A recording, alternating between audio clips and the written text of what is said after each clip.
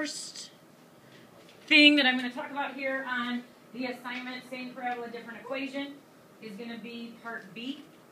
And same parabola, different equation, part B, is asking us to use this equation and we need to put it into standard form. And then once we put it in standard form, we need to compare this to what we have in standard form in our calculators to make sure that we did the math right. Now, if we're going to expand this into standard form, we need to get it into y equals ax squared plus bx plus c. And if we're going to do that, we have to multiply those two binomials together, and then we'll go back and we'll multiply and distribute this negative 3. So I'm going to do some work to find out what trinomial, three terms, wind up when I expand this. So my expansion of this is going to look like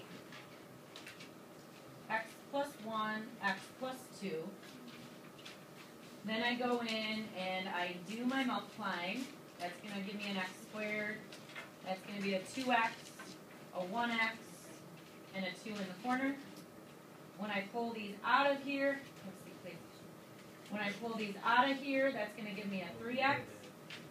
And so I go and I take all this stuff and I replace negative 3. Now I'm going to replace it with this standard form trinomial idea, and then I'll go back and expand, or I'm sorry, distribute. There we go. Any questions right at this point? You guys will be able to look back at this. I'll post it on my YouTube page. So then I'm going to distribute. I know a couple people were missing parts of the distributing, and that means that my negative 3 has to be multiplied by x squared. Negative 3 times positive 3x. Negative 3 times positive 2 and now I have this in the standard form.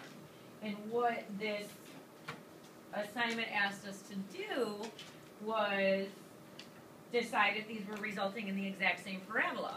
So what I'm going to do is enter in negative 3 times the quantity x plus 1. I'm going to just enter the first equation I started with. And then I'm going to enter what I ended with. And if my math is right, I should see one parabola when I hit graph, and I see one, and I'm watching my calculator working over in the corner, and my calculator's done working, and I don't see any more than one parabola, so I know that what I started with and what I ended with are the same. Same parabola, different equation.